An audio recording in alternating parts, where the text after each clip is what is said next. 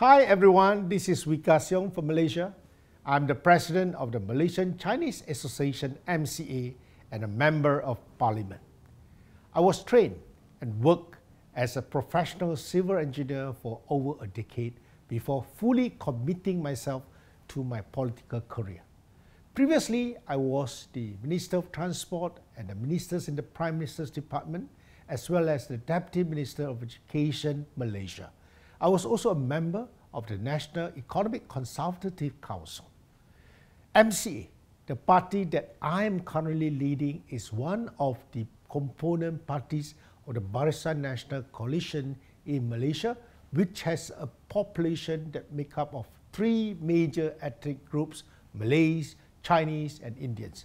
For decades, we have worked in a multicultural setting with our two other partners, UMNO and MIC, towards a balanced representation to ensure that the voices of each ethnic group is heard and valued in the shaping of our country's future. As one of the speakers for the session, Inclusive Leadership, Ways to Create Cultures that Embrace Differences, I will share insights, especially in the Malaysian context, on how we strive for unity in diversity without losing the identities of each individual ethnic group.